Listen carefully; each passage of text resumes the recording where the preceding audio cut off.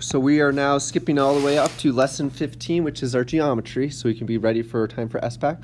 Just like always, we've already done this, our guided practice. In class, we're going to head straight to our independent practice.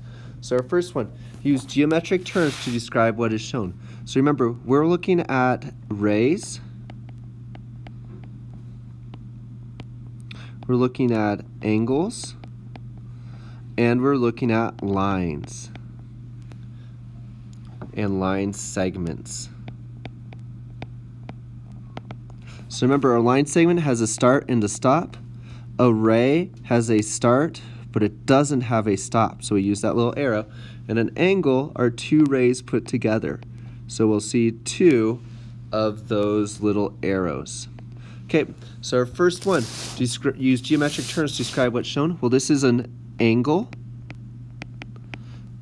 because I see those two arrows. This is a line segment because I see a start and a stop.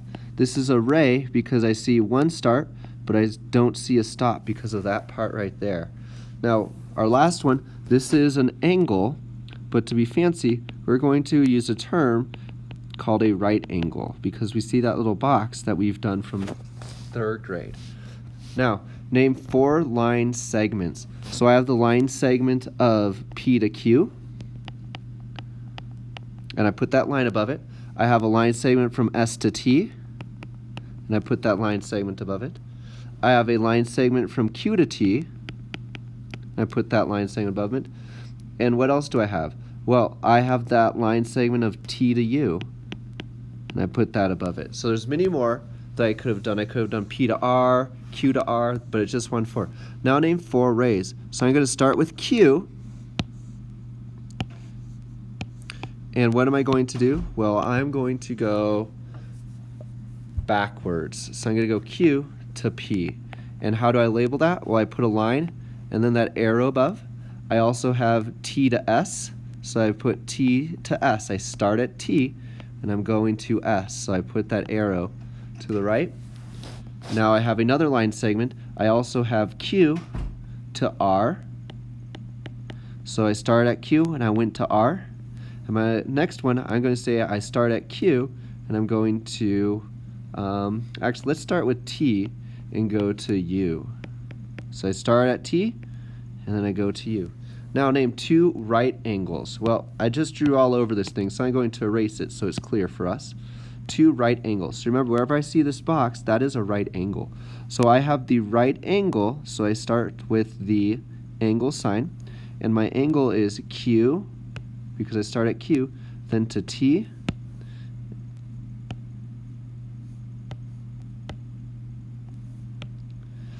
and then to U. So angle QTU. Now I also have another one for another right angle.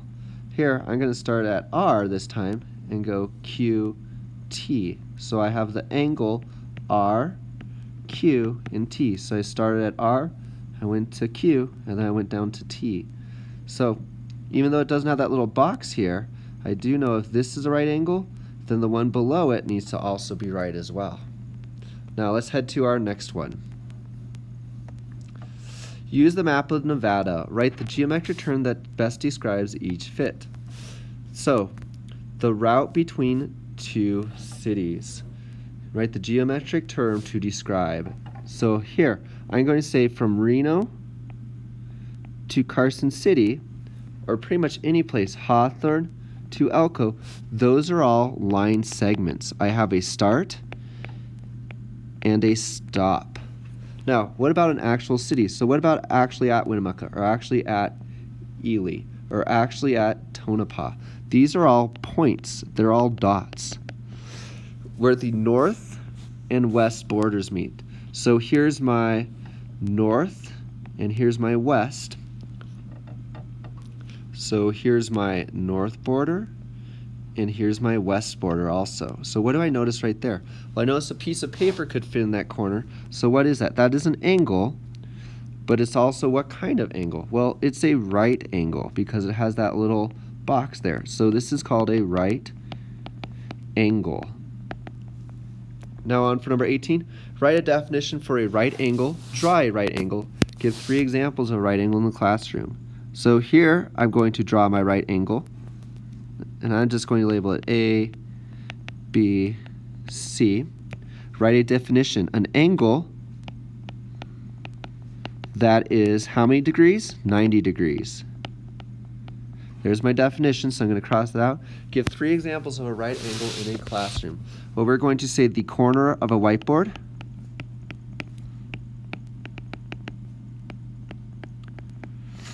The corner of paper. So our key thing is it's all going to be corners. And then what do we have? We also have the corner of a door anything that has that 90 degree that a piece of paper would line up perfectly with. Nina says she can make a right angle with an acute angle and obtuse angle that have a common ray. Is Nina correct?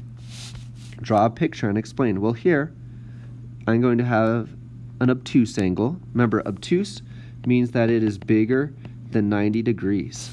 And here I'm going to break this obtuse angle up into an acute angle. So what do I have right here? I have an acute angle because that is less than 90 degrees. And that was an acute angle. So what do I have now? Well, now what I have left is that right angle. So yes, she is correct. Now on for number 20. Which term describes H, J, K? So all the way across. That is a straight angle because it's straight. Now for 21, Lisa drew two rays that share an endpoint. Which of the following is Lisa's drawing? Well, it says that share an endpoint. So right here, these don't share, so it's not C. So now what I'm left with is this keyword rays. So she has two of them. So I need to have two that have arrows on the end because that means it goes on forever. Here, there's no arrow there, so it's not B. Here, neither one of these are rays. They're both line segments. So all I'm left with is A.